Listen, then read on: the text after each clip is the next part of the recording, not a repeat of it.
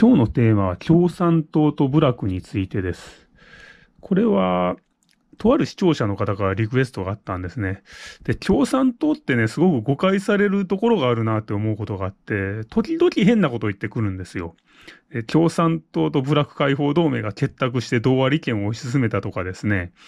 えー、共産党と日教祖が結託して学校で変な童話教育をやってるとかね、そういうことを言っいう人がたまにいるんですけども、そもそも、その解放同盟と共産党っていうのはもう完全に犬猿の中ですしね。で、今の日教祖っ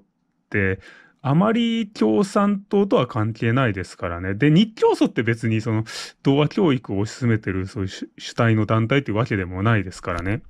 それで、部落問題で言えば、解放同盟と共産党は結託してるどころかもう完全に犬猿の中です。それで日教祖も今今は共産党とはあまり関係ないですね。共産党は共産党で全日本教職員組合、略称全教という団体を作ってるので、日教祖とも関係ないし、日教祖って別に童話教育を推し進めるためにあるような団体じゃないですからね。で、あとは、自治労っていうね、公務員の大きな組合あるんですけども、共産党系は自治労連ってまた別ですし、で、労働組合連合って大きいですけども、共産党系は全、全労連と。まあ、こんな風に共産党ってね、左翼の中でも別格で、共産党っていうまあ強い指導力のある政党があるので、まあそれを嫌って、えー、共産党からまあ他の人が出ていったり、あるいは共産党が追い出されたりっていうのが大体その市民運動の歴史なんですね。まあ、そのあたりの経緯がこの本に書いてあるので、そういうところもね、この本でね、ぜひね、学習していただきたいんですけども、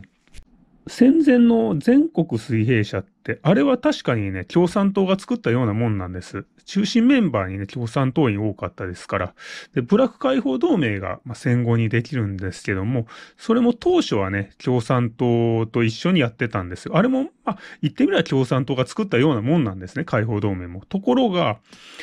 えー、1965年に同和対策審議会答申が政府から出されますよね。その時に共産党がそれに対して警戒したんですね。毒まんじゅう論と言ってね。で、古株の解放運動家、例えば松本治一郎がね、えー、その童話事業っていうのは部落民を堕落させるっていうふうに言ってたっていうことがありますし、で、共産党って別に部落問題だけやってる団体じゃないんですね。で、あくまでメインテーマは、まあ、労働者の連帯というか、共産主義革命の実現なんでしょうね。おそらくは。ただ、それ、そこで、その、部落民を優遇するみたいな、その、童話事情っていうのをやるの、やるっていうことは、言ってみれば、まあ、労働者の分断政策。それで、まあ、知ってる人はもちろん知ってると思うんですよ。浅田理論というものがありまして、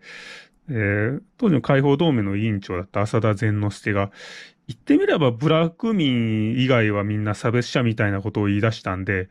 えそういうのはやっぱ共産党からしてみればもう労働者の分断でしかないんですね。そういった考え方は。そこでイデオロギー的な対立が起こってくると。で共産党と解放同盟の対立がね、もう決定的になったのが1966年の文化構成会館事件ですね。えー、京都のね、文化構成会館館っていうところに、えー、解放同盟が当時入ってたんですけども、それを追い出すんですね。解放同盟の中でも、反共産党派の人たちが。それで今でもね、部落問題研究所っていう団体があるんですけども、これはもともと解放同盟の中の研究部門なんですよね。で、その研究団体っていうのは共産党と、まあ、べったりなわけですよ。で、文化構成会館事件の時にそこ、まあそのブラック問題研究所を追い出されて、で、解放同盟はブラック解放研究所っていう別の団体を立ち上げると。そしてあとは1969年の八田事件ですよね。あと、これ有名なのが1974年の8日高校事件。それぞれの事件に共通するのはですね、えー解放同盟が共産党系の人たちを糾弾したっていうことなんですね。八田事件だと、まあ、糾弾、文字通り糾弾したんですけども、8日高校事件になると、もう暴力沙汰ですね。それで、この時に、ブラック解放同盟を正常化しようっていうために作られた正常化連っていうのが、後に全国部落解放運動連合会ですね、全会連になって、で、今の人権連というふうに、えー、変わっているわけですね。まあ、今の共産党系の部落解放運動団体の人権連っていうのは、まず出発点からして、えー、ブラック解放同盟は共産党に対してもひどいことをしていると。で、異常だと。だから正常化しようっていうところから始まってるんですね。で、そこに、まあ、主に共産党系の人。あと、やっぱ古株のね、えー、解放運動家っていうのは、やっぱ共産党と連帯してやってきたんで、まあそういう有名どころもどんどん正常化連に合流していくんですね。ただ、解放同盟を正常化するっていう目的はまあ、結局達する、達成することはできずに、まあ、別の団体として存続してるっていうのは今の状態なんです。で、今人権連ってね、元は全会連だったんですけど、2004年ぐらいにね、人権連っていう風に名前を変えて、まあ、一応はね、今人権連っていうのは別にブラック解放運動団体じゃなくて、えー、あくまで一般の人権団体でね、まあ別に入る人も共産党員じゃなくてもいいよという、まあそういう建前なんですけども、ただ実態としてはもう確実にブラック解放運動団体だと思います。人権連っていうのは。で、共産党との関係についても、もうこれは確実に共産党系の団体です。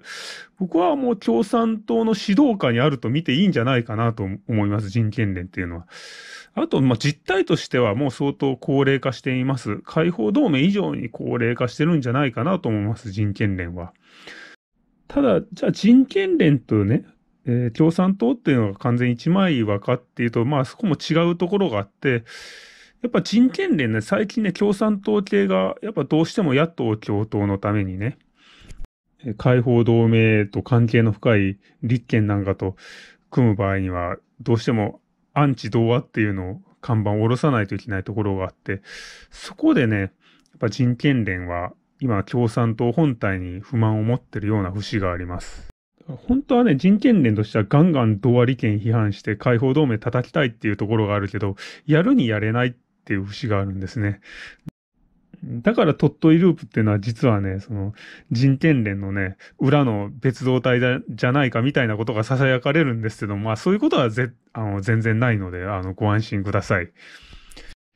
えということで、え今日の啓発動画をお送りいたしました。